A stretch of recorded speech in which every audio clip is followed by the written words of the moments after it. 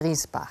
Sie sorgt für die Musik und begleitet die Prozession nach dem Kirchgang. Tommy Klinghammer war mit dem Landesschau Mobil mit dabei und bei der Gelegenheit wollte er auch etwas über die Geschichte der Bürgermiliz erfahren.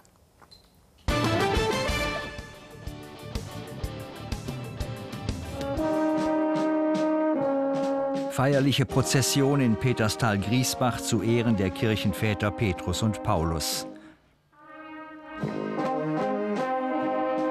Mit dabei ist die historische Bürgermiliz in der Renchtäler Bauerntracht. Am Peter- und Paulstag mitzumarschieren ist eine Ehre für die mehr als 100 Männer. Seit 1870 begleiten sie die Gemeinde bei Kirchenfesten. Wie aufwendig die Trachten gearbeitet sind, sieht man erst aus der Nähe. Was für ein schöner Hut. Herrliche Arbeit. Und es ist mal wieder typisch, die Frauen müssen dafür sorgen, dass die Männer von der Bürgermiliz richtig dekorativ sind. Frau Huber, was machen Sie gerade? Also wir binden jetzt gerade einen Federbusch für den Bu äh, Hut. Und es ist... Äh, ist eine Fummelarbeit, ne? Das ist eine Fummelarbeit, ja. Das sind Gänsefedern und die sind jetzt eingefärbt in Rot. Und es gibt jetzt einen Musikerfederbusch, oben rot und unten weiß. Das ist äh, typisch Renchtal.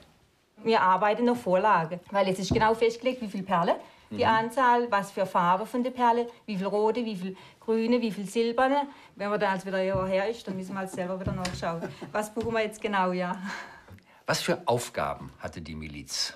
Früher haben sie sicherlich auch eine gewisse Schutzfunktion gehabt, denn unser enges Tal mit den Seitentälern, die entlegenen äh, Höfe, sind natürlich immer äh, gerne von Plünderer und von Wegelagerer besucht worden.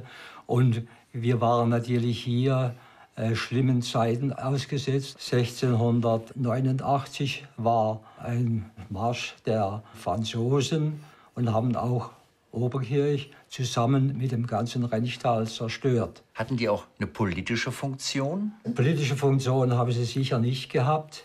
Äh, er ist jedenfalls nicht bekannt. Herr Spinner, wenn man so eine Tracht trägt, ist da ein bisschen Stolz dabei? Die trägt man sicher mit Stolz als Peterstäler, ja. Weil es gibt halt wenige, die sie tragen. Das sind nur die Vereinsmitglieder. Die Tracht die, die ist auch Eigentum von der Gemeinde. Die gehört also nicht dem Träger selber. Ist schon ein bisschen stolz. Kriegen Sie auch Leute, die gerne mitmachen?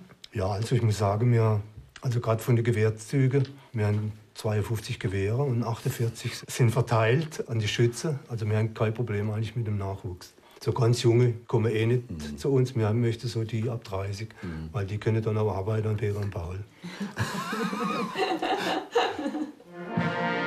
Die Auftritte der Bürgermiliz bei religiösen Anlässen hat ihnen im Volksmund den Beinamen Herrgottssoldaten eingebracht. Repräsentative Aufgaben übernimmt die Miliz seit mehr als 140 Jahren. 1871 wurde Zar Alexander II. und einige Jahre später Kaiser Wilhelm I. bei ihrem Besuch in Peterstal von der Truppe bewacht. Heute ist die Peter- und Paul-Prozession eines der wichtigsten Ereignisse im Kalender. Warum machen Sie bei der Bürgermiliz mit?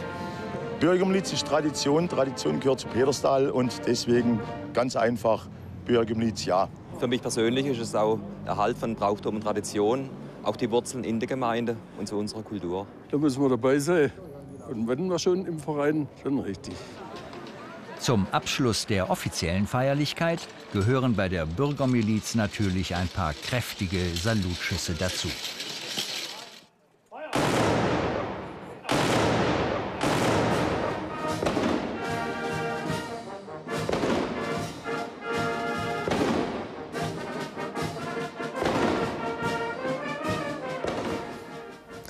So, und übrigens, ich bin Ihnen ja noch schuldig, den Gewinner vom Landesschau Mobil. Das ist in der letzten Woche gewesen, Brigitte Dürrwang aus Böblingen. Herzlich viel Spaß damit. Morgen gibt es ja übrigens auch wieder ein Landesschau Mobil und die Landesschau Kultur natürlich aus Bad Wildbad. Das war es von uns für diese Woche. Jetzt geht es weiter mit Dieter Fritz und Landesschau aktuell.